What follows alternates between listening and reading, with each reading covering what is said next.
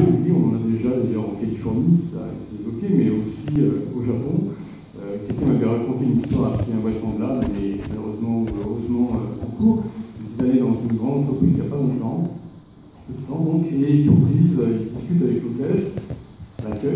Évidemment, il s'est surpris parce qu'elle semble lui répondre ce qui se passe au téléphone sans décrocher le téléphone. Et il découvre que c'est un robot. Bon.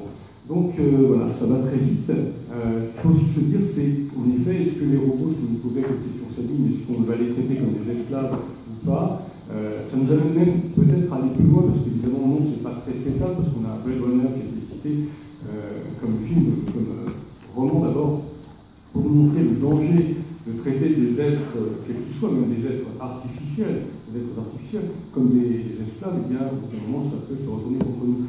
À mon avis, il est plus intéressant de se dire on va les traiter comme des amis, des alliés, des êtres d'une autre forme que nous, c'est peut-être à nous de devenir plus tolérants, plus compréhensifs, plus intelligents, je dirais.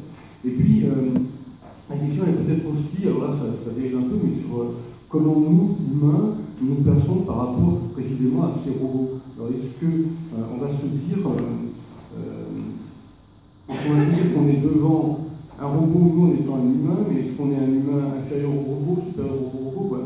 Toutes ces questions-là, à mon avis, sont peut-être à, à reprendre en main. Merci, que vous avez pris autant de plaisir que moi